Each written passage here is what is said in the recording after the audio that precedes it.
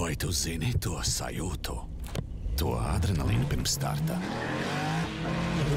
Spriedzi pirms pēdējiem metriem. Satraukumu pirms pēdējā metiena. Klusumu pirms pēdējā sitiena. Un uzvaru. To jūt tikai drosmīgie. Ienāc Betsafe un sajūti uzvaras garšu jau no pirmās likmes. Betsafe, jo uzvara sākas ar drosmi. Nu, ko, darbie skatītāji, te nāk Andris. Nu, ko? Arkādijs mums ir uzmetis, viņš atradās. E, Jurijs ir. nu, kur, tomēr? kur es esmu? Nu, labi, labi, Jurij, mēs iedosim. Es gribēju nozagt Neko šovu. sev, tu vari tā izdarīt. Es tā varu. Čau visiem šodien, Golsuļu štanga. Pirmo reizi es jūtos kā boss, kā galvenā šī šova zvaigzne.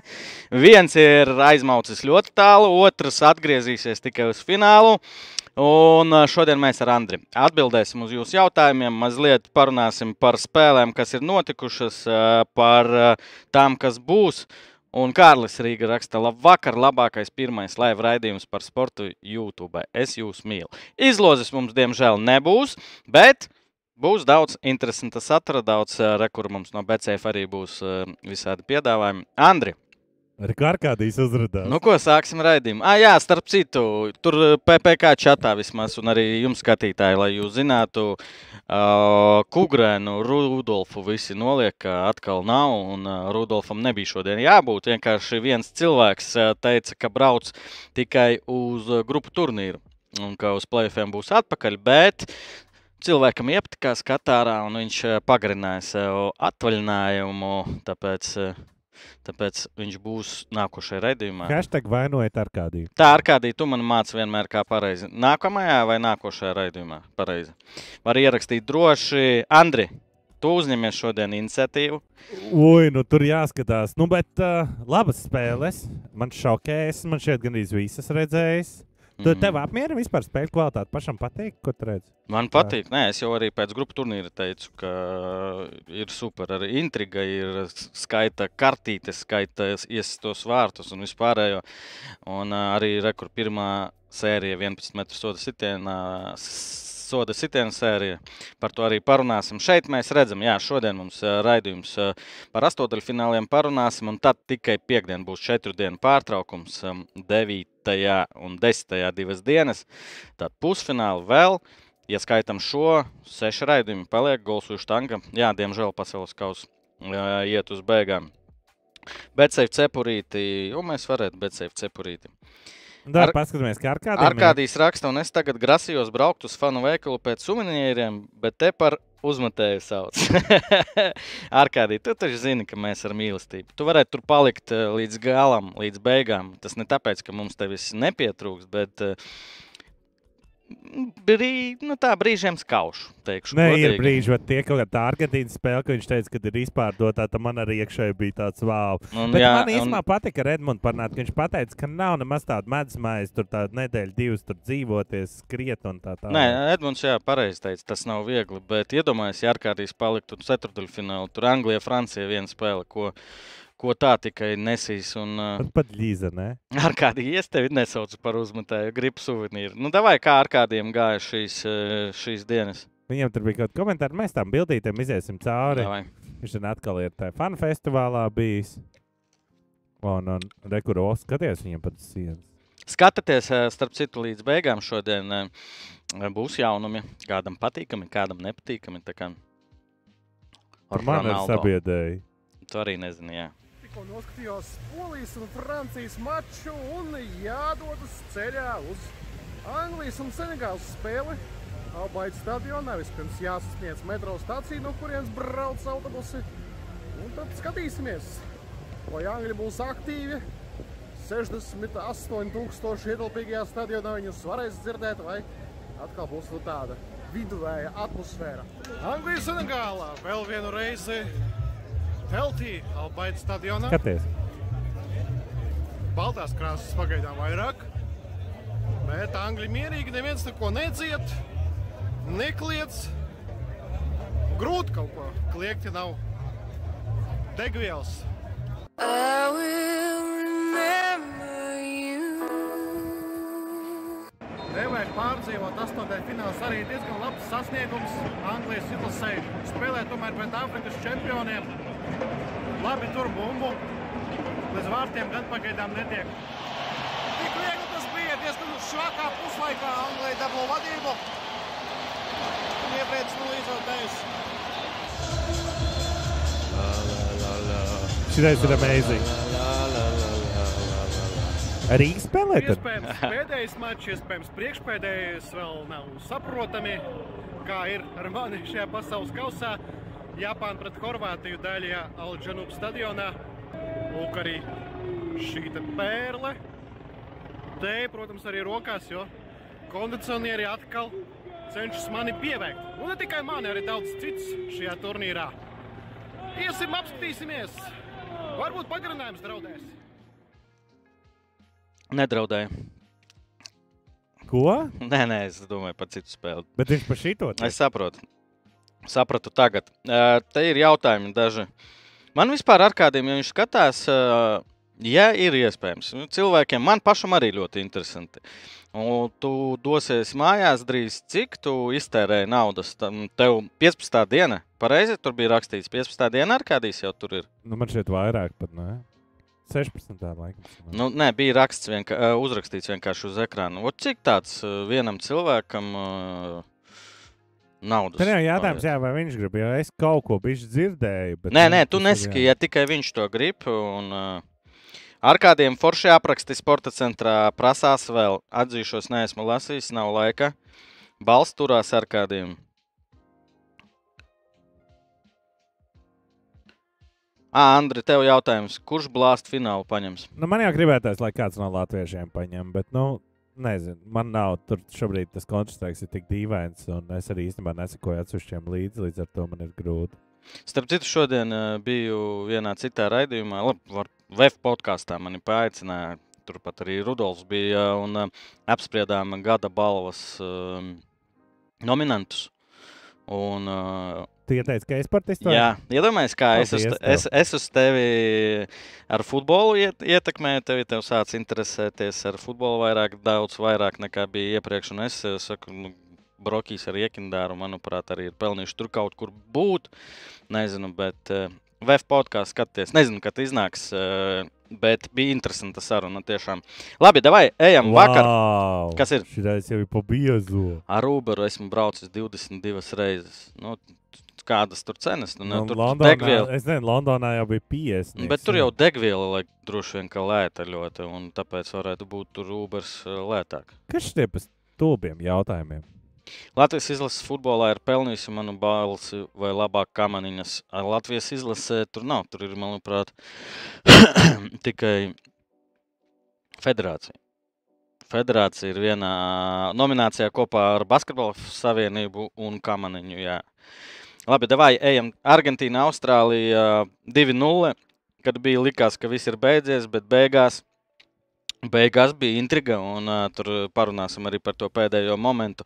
Sastāvi nekādu, principā, nebija pārsteigumu argentīniešiem. Mani pārsteidza, ka līdz beigām bija, ka spēja austrālieši turēties, un ā, arī 90. tur kaut kurā 8. minūtē. Starp citu, Kols ir otrs jaunākais uh, pasaules kausa dalībnieks pēc spēlē, un viņam bija izcils uh, moments 90. Es baidos samalot, kura minūte bija. Un Martīnas izvilka, tā kā varēja būt arī pagarinājums tur, 60 pret 40 uh, bumbas kontrole. Bet, nu, pelnīt Argentīna skaidrs pret Austrāliju. Es nedomāju. Es domāju, ka daudzi ir izbrīnīti, un arī Edmunds ņēma kamieļus uz uh, mīnus pusotra. Es arī domāju, ka Argentīna uzvarēs uh, pārliecinošāk. Bet visu cieņu Austrāliju, visi viņus tā, arī mēs tā skaitā. Arī grupu turnīrā norakām Maličs cīnījās un uh, pierādīja, ka tur ir kaut kāda spēlētāja, kas var sevi pierādīt. Uh, jautājumi. Japāna izčakarēja normu likmi, vai Brazīlija var iesist piecus golus šodien? Par to arī Par parunāsim. runāsim, jā. Francija uzvarēja Poliju, bet šeit pirmā lieta, par ko es gribu runāt, es arī komentēju to spēli. Polija pārsteidza tiešām pirmajā puslaikā.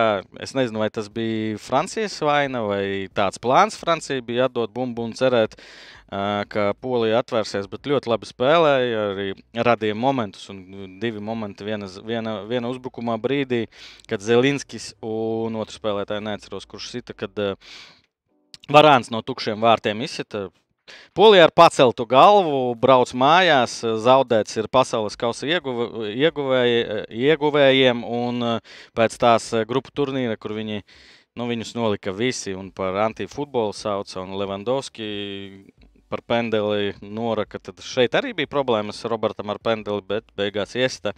Es domāju, ka neviens tur īsti negaidīja, ka var pirmkārt spēlēt tā, kā Polija spēlēja pirmajā puslaikā, otrkārt, ka Polija tiks tālāk. Ja būtu noturējuši 0-1 un beigās varētu kaut ko iesist, tad jā, bet. Man nu, spēles beigās atgādināja tas, kad iepriekšējā spēlē, kad Levandovskis ir viens uzbrukumā, nu pilnībā viens. Nē, bet skaties. Šeit bija labi, jā. Nē, šeit Levandovskis uh, nomināli bija vienīgais uzbrucējs. Nu, jā, bet nu, bija sajūta, iepriekš bija vairāk, bet uh, šoreiz bija nu, vismaz zīmējums kaut kāds un saprotami. Un arī piesātināja centru. Parasti spēlē ar diviem balsta pussargiem. Šeit trīs bija. Jā, tur Zelinskis ir vairāk uzbrukošs, bet nē, pirmais puslaiks, labākais puslaiks, laikam, poli, nevis laikam, 100 punkti poliešu pasaules čempionu. Kurš no polijas pārsteidza pozitīvi visvairāk mačā pret Franciju? Atdot, dot atpakaļ lūdzu sastāvu. Kurš pārsteidza? Tā, sastāv. Man kā Minskis patika, jauns spēlētājs, ja nemaldos, tur ap 22 gadiem varbūt, manuprāt, viņš labi, labi nospēlē. Nu un Keš, kaut arī Mbappé iesta divus vārtus, bet ļoti daudzos brīžos Mbappé nespēja tikt galā ar Kešu, tas, es domāju, ka nav daudz spēlētāju, kuri kuri varētu apstādināt Mbappé. Un, jā, un arī bumbas kontrolē. Translācijas laikā teica, ka varētu sagaidīt uh, 80 uz 20. Tas tā mazliet pārspīlē, tad beigās 55 pret 45. Un, Cienīga spēle, atkārtošos. Ko, ko Polijā, starp citu, es uh, nelasīju šodien, nepaspēju presi. Man interesanti būtu, varbūt kāds ir lasījis, uh, Edmunds, ja skatās, ko Polijā par šo rezultātu un par spēli runā uzrakstīt, kas vēl. À, nu, man jautājums jums, Andri, varbūt arī tev. Cik tu saproti no futbola, vai šobrīd Kilians Bapē ir labākais turnīra spēlētājs? Ja Edmunds pagājušajā teica, ka tas ir Šensnīs, tad uh, viņš pārspēja viņus divas, rei divas reizes un super vārti abi divi. Ja Kur, godīgi, kurš uzskata, sanācis īsti? Franciju redzēt? Franciju tā redzēt, jā. Bet es visos čatos visur redzu, ka nu, daudz runā par to, cik viņš ātrs ir, vai viņš ir ātrāks nekā dažs labs savā pīkā. Nu, ķipā, man ir ļoti grūti saprast šobrīd arī, ar ko viņi sa, nu, salīdzināt, jo es neesmu ne Messi, ne Ronaldu primārī redzējis. Bet... Kāpēc šeit Messi raksta šobrīd Messi labākais?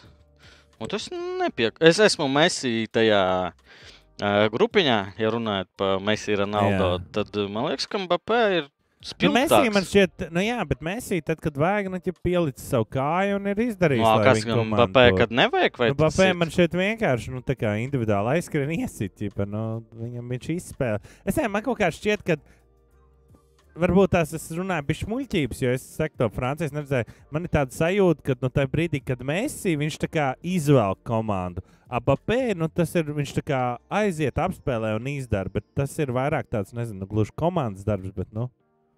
Ar kādīs nevar online pieslēgties, nav nekas pret žigu vēl būtu kaut kas pret. Wow. Bet prasās ar tiešās sajūtas no notikuma vietas. Viņš nav pelnījis, lai viņš slēdz. Nē, Vlodiņš, Vlodiņš tehniski viņš šobrīd grūti. ārkārtīgi droši vien kaut kur jau pie Tūksnesī. stadiona, ne pie stadiona, un tur daudz tautas. Un, un, mēs domājam par to, bet nolēmām, ka nevis tieši šodien, bet vispār nolēmām, ka tā nedarīsim. Un, un šeit parunāsim, bet ceturdaļfināls Francijā, Anglijā. Tā būs spēle, par es kuru. Būs braketiņš pēc tam. Par kuru runās vienkārši. Nē, es vienkārši pārs, pārskrienu, jo mana es jau nevaru sagaidīt šo spēli tiešām. Un tas jau ir ceturdaļfinālā. Tur arī Māris, man liekas, jautāja, vai var populāri teikt, ka kurš uzvar šajā ceturdaļfinālā ņems kausu. Es domāju, ka kausu neņems ne Anglija, ne Francija, bet pati spēle, nu, ar kādu nozīmi vēl pie tam. Es domāju, šis būs tāda. Tā būs spēle, par kuru tur, nezinu,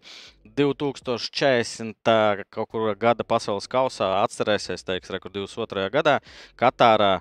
Francija uzvarēja pendelēs Angliju un, un stāstus uh, rādījis uh, vecu, vecu, vecu, nezinu, Bellinghamu. Šis ieies vēsturē.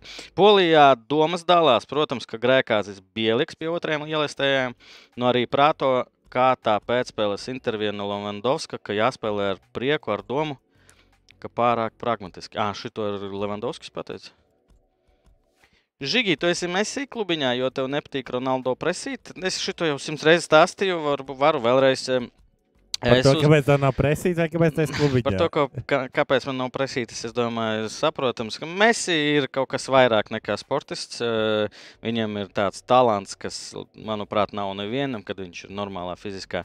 Un Ronaldo ir ļoti liela cieņa, viņš arī ir talantīgs, bet viņš vairāk ar savu darbu, uh, To arī var vērtēt. Eh, var citādāk vērtēt, ka re, viņš ar visu ar darbu ir panācis, un tas ir vērtīgāk. Man tomēr, es domāju, ka tāda ir. Ja, kara... ja tu viņus uzliec uz līnijas no reseta, no nulles, tad uh, mēs jau tādā uzreiz ir. Jā, jā, viņš ir daudz labāks. Viņš jau uzreiz viņam levels. Okay, ir, viņš ir interesants. Ar Ronaldo uzskačājās. Jā, viņš bija nevis uzskačājās, es domāju, šitā, šitā Nē. arī, bet kopumā viņš uh, lielu darbu ieguldīja. Savukārt, man liekas, Messi Nevar teikt, ka neko neieguldīja, bet daudz mazāk. Man tā liekas, tas ir tikai mans viedoklis. Stepans saka, ka Pelē ir visu laiku pārvērtētākais spēlētājs vēsturē. Ja es nemaldos, viņam tas ir ļoti slikti. Viņam tur ir ar to veselību problēmas, un laikam viņš ir ielikts jau tajā pēdējā aprūpes mm. vietā, jo viņam tā ķīmijterapija nepalīdz. Un visticamākais arī viss. Stepana Pantera, es tiešām šeit neesmu. Man nav viedokļa. Es redzēju tikai tos kadrus, uh, kur viņš sit vārtus un tā. Skaidrs, ka salīdzināt droši vien tos laikus ar šiem ir ļoti, ļoti, ļoti. Ierakstiet komentāros, kas labākais Mēsī vai CR7. Zuzins, Zuzins bija labs vakar. Uh, par sastāviem, uh, to, ko mēs runājām ar, uh, atpakaļ, atpakaļ, atpakaļ uh, runājām ar Edmundu, tomēr viņš neliek sastāvā, viņš domāts uh, Garets Southgates, neliek sastāvā Rešfordu un uh, Mountu. Es mountu ar Fodenu jaucu visu laiku. Bet, sakā, nu, principā viss nostrādāja. Nu, Hendersons iesita vārtus, kas arī droši vien negaidīt bija. Keins beidzot iesita. Pirmais puslaiks Senegāla, labi, ne pirmais puslaiks, pirmās 20, 30 minūtes Senegāla pat bija labāka. Ja būtu iestuši uh, savu goliņu, es domāju, ka varētu būt jautras spēles uh, turpinājums. Bet Angļi pragmatiski apmēram tādā pašā stilā kā Francija, varbūt ne ar pašu izteiksmīgāko spēli, bet uh, iesit uh, trīs vārtus un uh, ceturdaļfināls, par ko es jau teicu. Šeit par Angliju runājot, jā, problēmas, es domāju, ka jau neviens, neviens um, nav noslēpums, ka Sterlings ir prom, un šodien izlasīju, ka varētu būt, ka viņš vispār neatgriežas. Ja kāds nezina, Tad uh, Sterlingu pirms spēles pret Senegālu ziņoja, ka ar ieročiem tika, tika Es nezinu, cik cilvēku tur bija, bet nu, apzaga māju, kad iekšā bija visa ģimene, visi tuvinieki un Sterlings aizbrauca projām.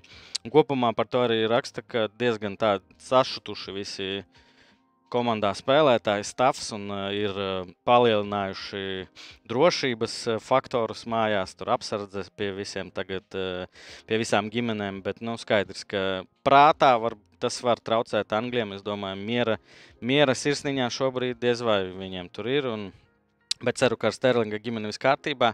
Es Es gribētu teikt, ka viņš atgriezīsies. Varbūt, eh, ja tiek tālāk, ceturdaļfinālā uzvar Franciju, tad es domāju, uz pusfināliem jau viņš varētu būt. Bet, tu par eh, Benzemā lasīju?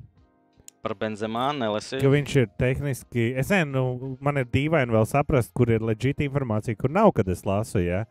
Bet tehniski, kad viņš ir gatavs, Un viņš jau nākamā nedēļa atsāks Real Madrid. Un viņš nebrauks uz čempionu. Pat ja Francija uzvar, viņš tāpat dabūna, ja viņš ir kā 26. norādīts. Mm. Bet viņš nebrauks uz Franciju, bet viņam izrādās, ka tā trauma esot mazāk ķipa, slikta. Viņš nākamā nedēļa atsāk treniņus. Super interesanta pirmā futbols vispirms epizode. Paldies apvienītiem. Ceturtdien gaidiet otro, sāksies jau akcents. Apvienīts ir mans šodienas MVP. Kurš tev liekas ir visoverrated un underrated spēlētājs? Šis ir grūts jautājums. Uh, šobrīd overrated, es domāju, tomēr ir Ronaldo. Es domāju, ka Portugāles izlasē pat būtu labāk, ja, ok, sapratu. Uh, ka viņš nespēlētu sas sākuma sastāvā, bet diez vai tas notiks. Uh, underrated. Underrated. Nenovērtētākais. Es saprotu, ko tas nozīmē. Nē, es jau pat mīlu. Bet, bet vēl par Angliju, atgriežoties par Angliju, es gribēju atzīmēt uh, Džudu Bellinghamu. Man, manuprāt, šo, šajā čempionā ir uh, labākais Anglijas spēlētājs. Viņam ir uh, labi rezultāti. Vispār viņš ir uzsācis visas spēles. Viņam ir vārti, viņam ir asisti, viņam ir visvairāk tā saucamie pre-goal pasis, divas vai trīs piespēles. Viņam ir atborā, tas ir aizsardzībā arī viņš cīnās. Un, uh, ar visu to, ka ir uh, vēl jauns un var teikt, ka debitants. Nu, es domāju, ka šis, uh, jā, tur arī rakstīja, ka tā ir nākotne Anglijas. Es tagad domāju, ka tur veseli rinda stāv no Anglijas Premjerlīgas klubiem. Uh, būs kaut kāds transfers, un starp citu, jā, nevis transfer market, bet uh, es nepierakstīju. Ka Bellinghams šobrīd skaitās uh, pats dārgākais uh, spēlētājs, kurš atrodas pasaules kausā. Nu, droši vien tie, kas neatrodas, arī nevar konkurēt ar viņu. Bet kādā veidā? Nu, tur kaut kāda organizācija, kas nav ar, saistīta ar futbolu, ne, ar, ar futbolu ir saistīta, bet uh, ir izskaidrojusi, ka viņš, viņa vērtība šobrīd ir 200 uh, miljoni, pāri par 200. Sezonā? Nē, Nē. viņa vērtība, ja viņu grib pirkt tagad no Borusijas, jāsamaksā Ah, 200. ok. Bet tas mazliet citādāk strādā. Transfer marketā bija 100, manuprāt, miljoni. Bet nu, tas, ka viņš ir šobrīd dārgākais, es domāju, tas arī tāds interesants fakts. Un ar to strīdēties, kurš varētu būt tūmā, es nezinu. Jā, bet piemēram tāds transfers vai cipars pret to pašu, ka Ronaldo ies spēlēt uz to. Tās baumas, Pirks Morgans, kuram var uzticēties, jo viņš bija tas, kurš uh, to interviju skandalozo uztaisīja ar Kristiānu Ronaldu. Viņš teica, ka tas uh, tā nav taisnība. Arkādijs raksta, ka Brazīlijā grupu turnīrā ir tikpat golu, cik 2018. gada čempionai. Čempionātā, nē. Nu, Čempionai viņš rakstīja, ne? Ah, čempionei. Uh -huh. Tu tik dīvaini pateici, jā, ka es. Kaut ko dzirdēju par Spartaku un 6000, kas par ko tur Nu, stāsta. šī spēle man bija bēdīga. Es tik ļoti cerēju, ka Japāna izvilks. Japāna spēlē diezgan foršu spēli. Andri, pastāsti pirmo puslaiku. Es redzēju, ar vienu acī jau bija ieraksts. Un, uh, nu, es redzēju, To, ka ko es Japāna... redzēju, nu, Japāņu moči jau no paša sākuma bija izdevības. Man bija arī uzlikt kamieļu uz abas komandas gūs vārds, un Japāna uzvarēs. Mm. Un ja es pat, ja bija viens nulle, es davai, lai Horvāti arī iesit. Tad, un, un, un. Bet jā, pēdējā 42. man šķiet iesita. Beigās, jā. Jā, jā, un, pašās ā, beigās. Bet viņiem bija vairākas iespējas. Tur bija tā forša. Nu, Pirmā puslaika arī nebija tāds autobus kā pret Spāniju vai Vāciju, Japānai. Jo otrajā puslaikā, jā, Horvāti varbūt bija mazliet labāki ar iniciatīvu, bet Japāna bija mazliet citādāka nekā spēlēs grupā. Nu, tas, man tā ar grupu varbūt grūti salīdzināt, bet nu, man, man patika. Nu, man, man izskatījās, ka viņi spēlē, ka viņi brīvi spēlē, ka nu, ne viņi baidās neko, kad viss notiek. Mm. Nekur raksts pirmās 20 minūtes Japāņu presingoja, pat nu, tā kā bija, bija smuki. Japānu žēl, kas par svārtu viņš raksta. Jā, nu, vienmēr žēl komandu, ja tu nefano par pretinieku un uh, 11 metru soda sitienos, astotdaļu finālā. Bet pendelēs viņi bija daudz vājāk. Nu, tā kā tur tas bija ārprāts. Tas Nu. izskatīja. Atbildība, spriedze, pieredzes, es domāju, tomēr uh, Horvātijas futbolistiem vairāk šādās spēlēs. Un, uh, nu jā, nu jā. Bet Malčija, Japāna. Tā, labi. Kas mums tālāk uh, jautājumi raksta? Re, kur Ielieciet laiku, starp citu.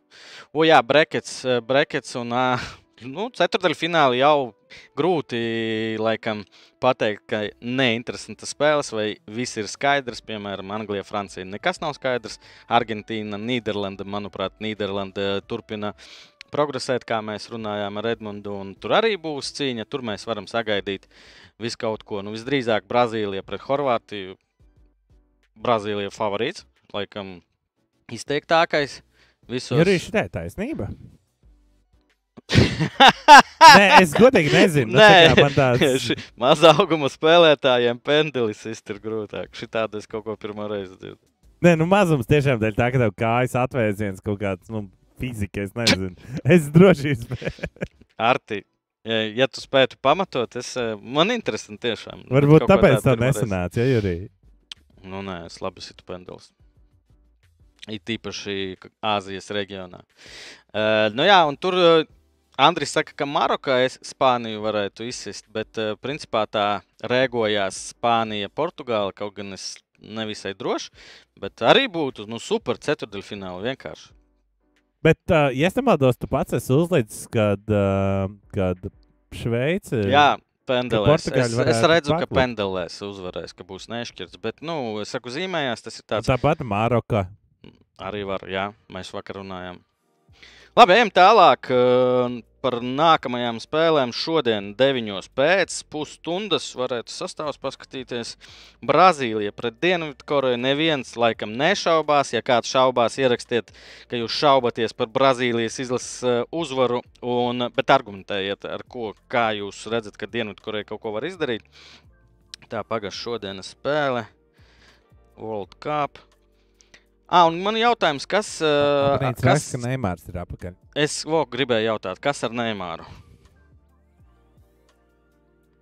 Uh, Spēlē, Lords. Sūrī raksta, es, kā, es uh, kā arī vairāk citu, gribu, lai kāds melnais zirdziņš tiek tālu. Vairs tikai divi melnie zirdziņi palikuši Maroku un Dienvidkoreju. Kāpēc Japāna nepilka otrā grupā? Būtu Japāna pret Maroku. Nu jā, īstenībā tā būtu viens Jā, no starp tā citu, nu, varbūt. Bet tagad, ja tā sākam domāt, es ļoti pārliecinoši teicu, ka Spānija nemeklē tur uh, vieglāku variantu. Pelē faktors iespējams. À, nu, par Neimāru vai par ko pelē faktors.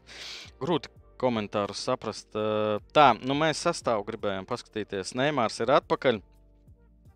Un kopā ar Vinicius, Richarlisons, Rafinija un Neimārs vēl vidū. Un Kazimīro paketa Militāo, Silva Markinjos, Danilo Alisons. Okay. Čo un Sons priekšā korejiešiem. Nu, es nezinu, es neredzu tiešām. Es, man ļoti patika, kā Koreja spēlēja, bet eh, tā kā izskatījās Brazīlija grupā. Protams, ka Koreja vinnēs, un tad jūs teiksiet, ka es neko nesaprotu, bet nu, tas būs ļoti, es būšu ļoti, ļoti pārsteigts, tāpēc skatīsies. Vai, Man patīk, ka vai, Kārlis vienkārši uzraksta. Andri, vai jautājums, vai Brazīlija var sasist piecus vārtus? Es domāju, piecus nē, bet uh, ar trim Brazīlijai jāpietiek. Es domāju, ka trīs vārtus korejiešiem viņi spēja gūt. Un arī, re, kur redzam, betsafe koeficienti nu, parāda 1,27. Tas ir ļoti, ļoti liels favorīts Brazīlijai. Uh, nezināju, Neimārs spēlēs vai nē, izvēlējos Viniciusu junioru.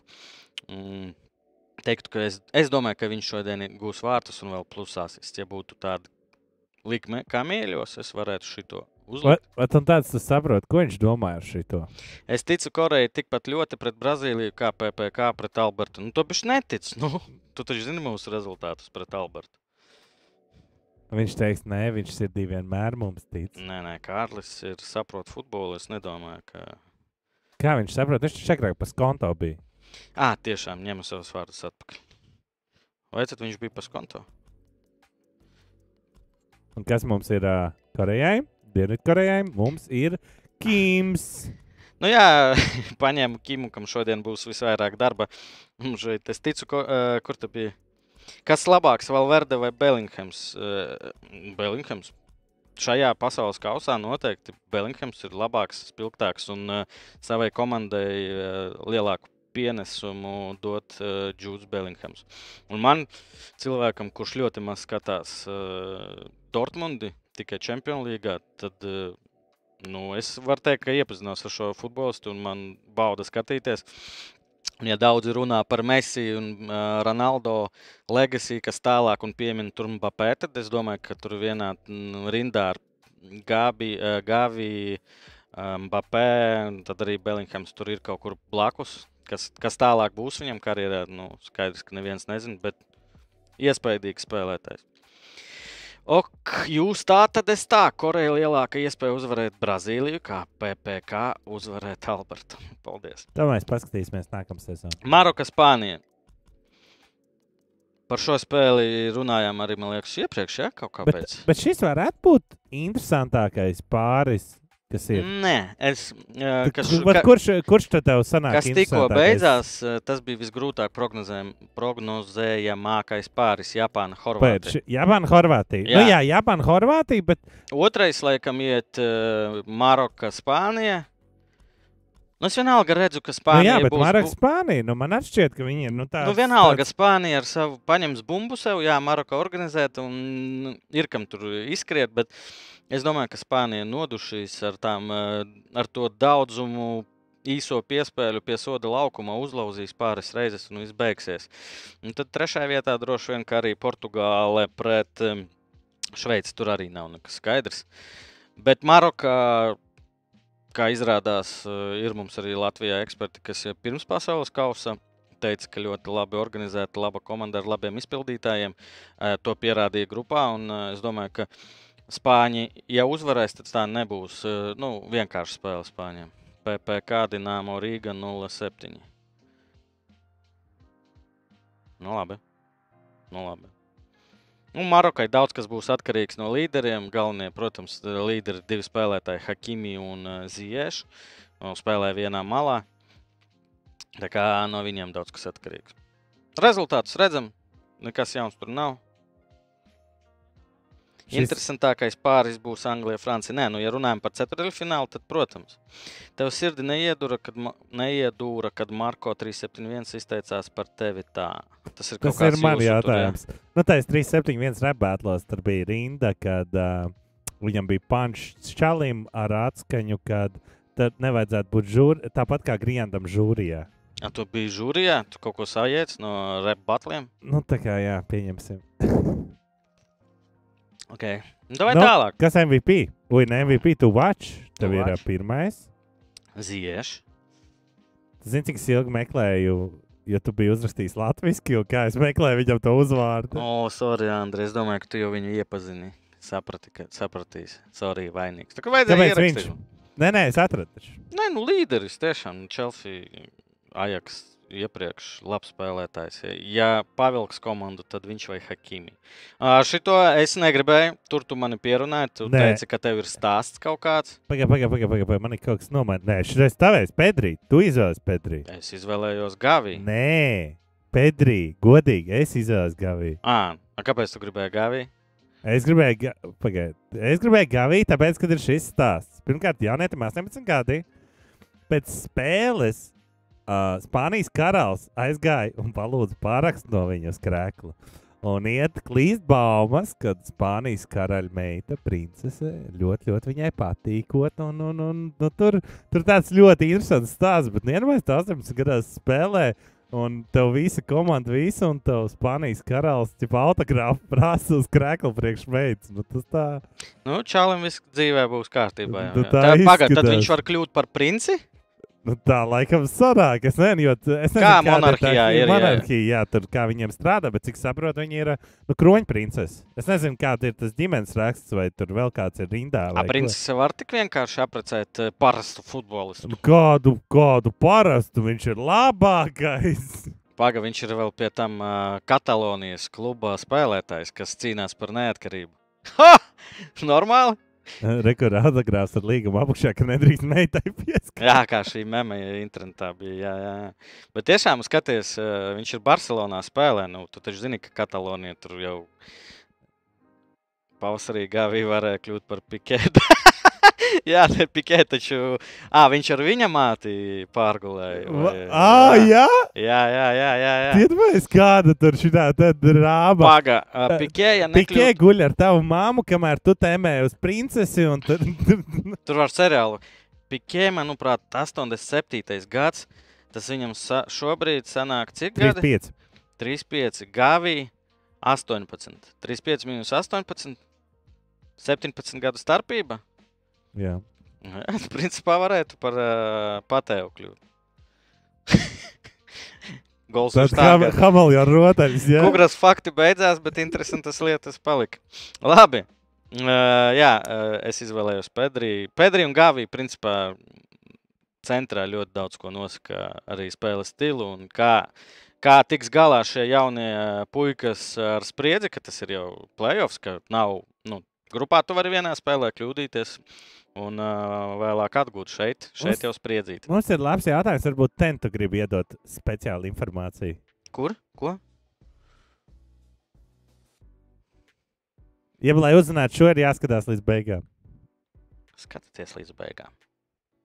Portugāla, Šveice. Kas Portugālē un Šveicē? Ah, nē, par Spāniju aizmirsu pateikt. Ir ziņas, es nezinu, atkal avots bija ša- apšaubāms Twitteris, ka Luis Enrique ir eh, paziņojis, ka pēc pasaules kausa uh, nebūs Spānijas izlases treneris. Droši vien kāds klubs jau ir uzrunājis viņu. Tā kā Luisam Enriquem šī spēle varētu būt pēdējā, ja viņa zaudē Marokai. Uh, Portugāla Šveice. Žiga komentēs kopā ar Anatoliju. Portugāla, Šveice. Portugāla, Šveice. Šeit arī interesants pāris. Es domāju, ka varbūt kāds uzskata, ka Portugāla ir favorīts. Droši vien, ka taisnība, bet nu, nav izteikts favorīts. Un Portugāle brīžiem parāda ļoti labu spēli, bet nu, tur ir tas Kristiāno Ronaldu, kas joprojām ir uh, normālā formā, bet nu, Nu, no spēles nav iesitis. Tad uh, ir dzirdēts, ka tur ir arī iekšienē kaut kas, es nezinu, cik tur taisnība. Tur uh, kādas dienas iepriekš uh, Kristiānu pasauca visu komandu uz restorānu, nomaksāt, uh, nomaksāja vakariņas. Daži spēlētāji, divi, trīs neatnāca un uh, izvēlējās pavadīt laiku ar ģimeni. Tie bija tie spēlētāji, par kuriem arī runāja, ka tur nav viss kārtībā. Tad arī uh, izrādās, ka maiņa uh, bija pret Koreju, tad viņš iesot bļāvis atpakaļ Santušam. Nu, nebija apmierināts, ka viņu maina nost. Nu, man liekas, ka bez Kristiānu Ronaldu tā Portugāles izlase, nu, jo viņš ir atslēgas spēlētājs. Uzbrucējs, un, ja Ronaldo tur ir, manuprāt, bet redzēs, es nezinu, es neesmu Ronaldo haiteris, bet, manuprāt, eh, Portugāles izlase bez Ronaldo varētu būt vēl stiprāka. Tad viņas uzlicis kā tu vač. Jā, nu, skaidrs, ka viņš spēlēs. Nu, kamēr viņš ir komandā, neviens treneris pasaulē nu, nepietiks eh, spēka viņu atstāt rezervē. Veselu, Kā, kā tev šī pirkstiņa kustība, viņa tas kurš? Nē, du, kurš? Mbappé, divus golus. ies- Tas viss ir daļa no spēles. Tas jau arī patīk cilvēkiem. 200 cilvēki skatās. Paldies, ka esat Vēl ar mani, ar Andriu. Un, uh, jā, Jānis Es gribu izjaukt to Latviju. Kāpēc es viņu ieliku? Jo dažās spēlēs likās, ka viņam arī tur traumas bija iepriekš eh, sezonā, nevisai izdevusies eh, klubā, un arī nevisai pārliecinoši eh, dažas epizodes aizvadīja Jans Zomers Šveices vārtos. Bet šodien nu, nedrīkst. Ja grib Šveice cerēt uz tikšanu tālāk, tad Zomeram jāpierāda, ka viss kārtībā, ka viņš ir labā formā un būs jāpavelk šodien dažas reizes, es domāju, noteikti. Kā jau vienmēr, Šveicē no aizsardzības arī daudz kas atkarīgs, un uh, no vārdsargiem Zomers ir ilgus gadus ir pierādījis, ka ir top, top vecis. Šodien būs vēl viena iespēja, tiks galā vai nē, no tā daudz kas atkarīgs. Es ten ātri meklēju vēl vienu faktu. Um, atceries par Šveici. Nu, Uh, nu. tas spēlētājs, kurš iesit, kuram bija tā grūstīšanās, tas mēs pagājušajā runājām. Tas, kurš arī ir uh, ar, ar tām albāņu asinīm, Nu, un ko, jā, nu, tas, nu. tas, kurš iesit. Um, viņam iespējams varētu arī būt diskvalifikācija, bet šaubos, ka iedos. Jo viņš uz interviju, nu, pēc tam to preses konferenci, aizgāja ar citu komandas uh, krēklu, komandas spēlētāju krēklu. Un uz tā krēsla ir nu, tāds čaļu uzvārds, tā spēlētāja. Bet tas uzvārds ir tieši tāds pats kā pretestības armijas vadītājam tajā laikā, kad bija tie nemieri un tas uh, viss sliktais. Un viņš saka, nē, es vienkārši gribu parādīt, ka man ir labs komandas biedrs, ko nelaiž laukumā. Jā, jā, jā. Bet tas konteksts ir nu, maks skaidrs. Un FIFA ir paziņojis, ka nu, izskatīs šo atsevišķi, ka nu, tomēr ir neforši. Bet, nu, es domāju, viņam tas stāstījis diezgan safe. Ir. Labi, davai pie labākā, pie interesantākā. Es esmu pierādījis, ka esmu labākais. Ah, nē, mums kamieļa ekrāns nav gatavs. Nu, beidz, nu parādi, nu parādi. Man jau gandrīz 600 kamieļi ir. Wow! wow. Tā, kas man bija? Paga. Uz ko es liku? Es nezinu. Uh, tu uzliki uz, uz, uz, uz, uz. Pagaid, kas bija? Edmunds lika eh, uz Argentīnu. kas bija pakāpiens. Man bija Japāna. Un Es kaut ko mīnus viens, vai nu Francija vai Anglija. Es pat aizmirsu. Jā, man šķiet, ka Ang- Anglija mīnus. uh, Patrika Got, kāpēc tur stāv muca ar kvasu? Tāpēc, ka mēs atrodamies Katārā un Katārā alus ir aizliegts. Viss vienkārši. Un uh, Andris ir savā vietā, beidzot, pēdējais, uh, Kugra savā vietā, Arkādijs savā vietā. Viss, vai es varētu beigt šo kamieļu spēli, bet vēl ir, ir četras, piecas spēļu kārtas. Un davai, ko mēs šodien, Andri, ko, starp citu, Kugra izvēlējās? Ošana, es lieku, ka Maroka, gu- jo nu, mēs vēlāk uzzināsim, kāpēc ir speciāli.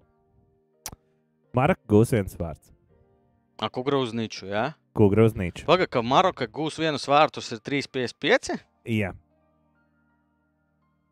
Tu tiešām dom- nesajauc tik daudz? jā, jā, bet uh, es pieļauju, domu, ka arī paliek uz vieniem vārtiem.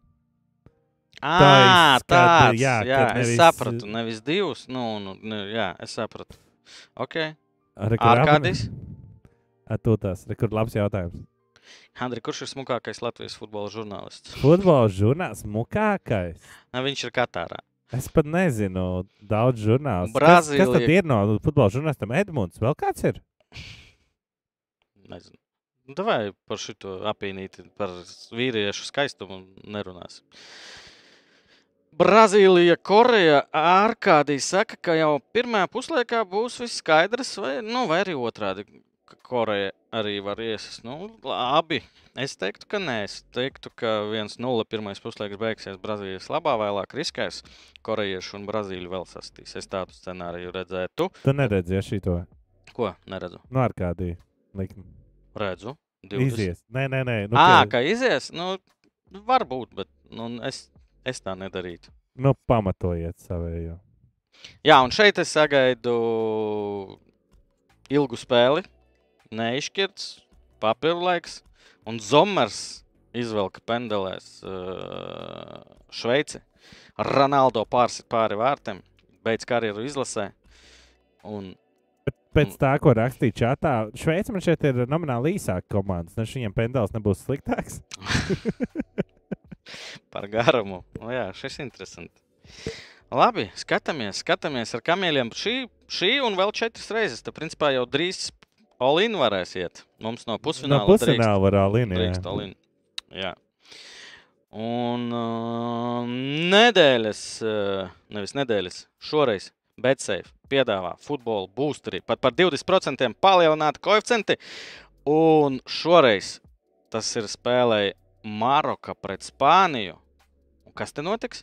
Vieni vārti, ka Maroka iestīs. Tāpēc Ā, arī izvēle nu, ir tu- 10%. Kā Maroka iestīs vienus vārtus, tieši vienus vārtus, pat 10% lielāks koeficients, tāpēc viņš ir tik liels. Ko vēl? Ko vēl šodien mums piedāvā par, di, par 10%? Nīderlande pret Argentīnu. Nīderlande uzvar Argentīnu. Ah, jā, Nīderlanda uzvar Argentīnu. Tur ir tā, 10%. koeficients labs un vēl plus 10%. Izmantojiet droši. Kamieļus šeit vajadzēja likt, bet ne šoreiz. Un arī- šoreiz, ja? Un arī Ziemassvētki tuvojās, un katru dienu BetSafe eh, lietotājiem dāvina dāvanu katru dienu. Izmantojiet, reģistrējieties, esiet kopā ar BetSafe. Un Un, tev jau nav scenārijā. ah, jā, MVP. MVP. Es domāju, ka trīs atsistas uh, pendeles. Trīs. Oh, tas lasās kā pirmos vārtus, nevis vienus. Viens punkts. Es nezinu, es lasu, kā. Kā pirmie gūs vārtus. Nu, varbūt, es nezinu, kā lasās, jo es kā es izlasīju. Kukurēns raksta, ka es vienu varu šķērīt, te uzsist. Nē, Rudolf, es varu uzsist, bet es nepiecelšos. Kur ir? Gamegala raksta, Jānis Pakalns ir tik smukiņš. Nu, kurš tad strīdās? Neviens.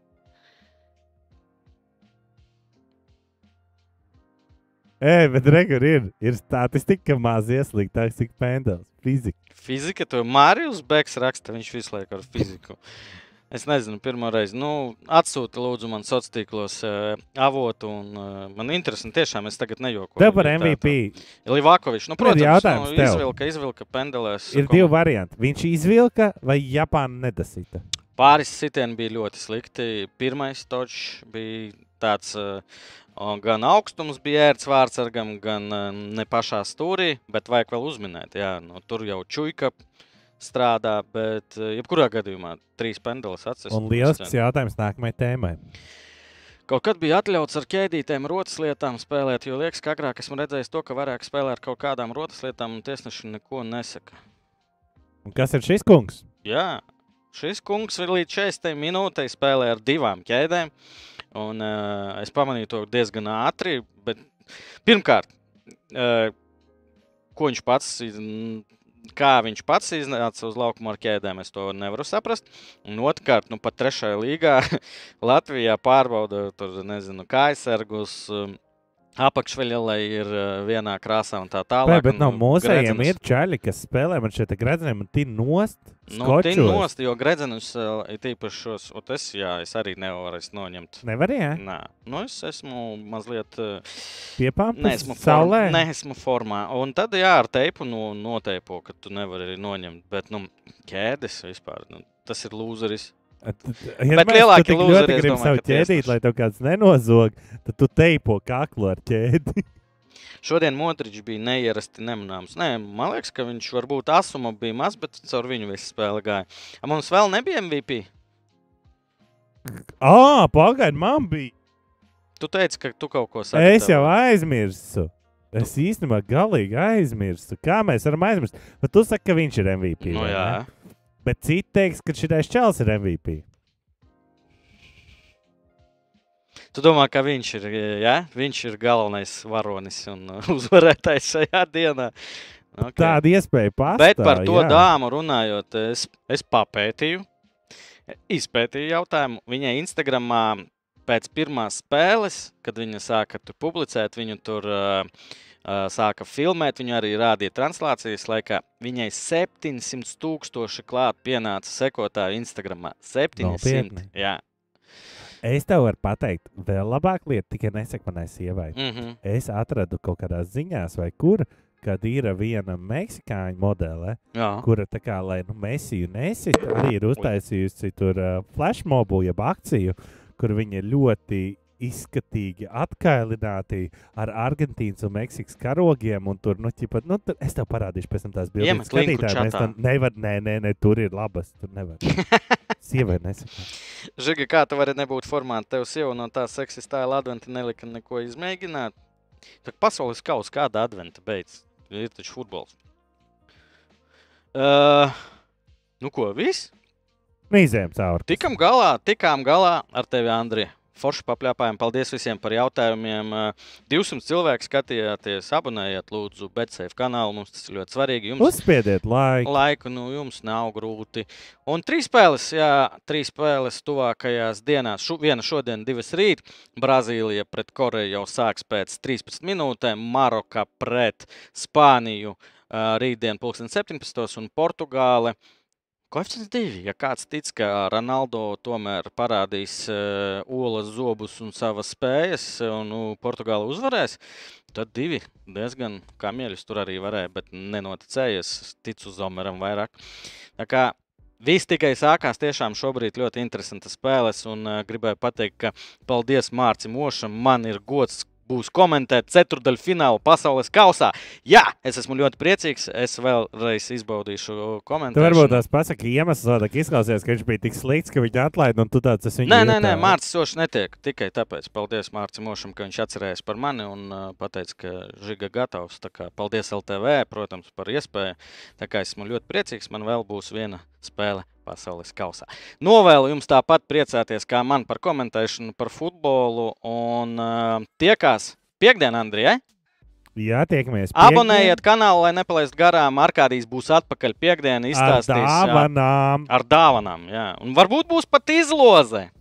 Čau. Nu, nē, nē, mēs tā nedarām. Čau. Vai tu zini to sajūtu?